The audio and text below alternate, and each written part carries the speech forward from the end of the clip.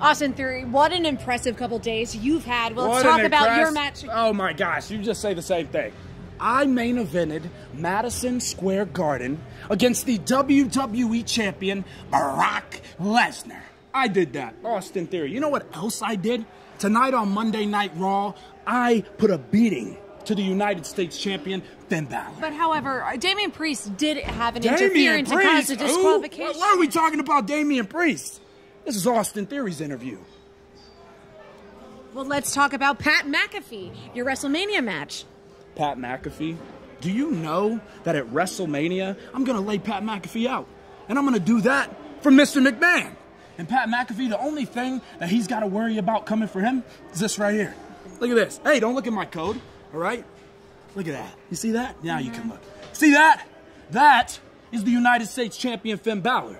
But that at WrestleMania will be Pat McAfee.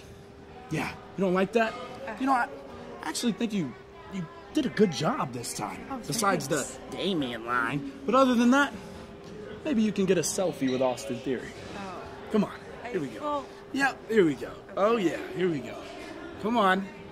What do you think? Yeah, you're so bad at this. Okay, I'm out of here. I'm out of here.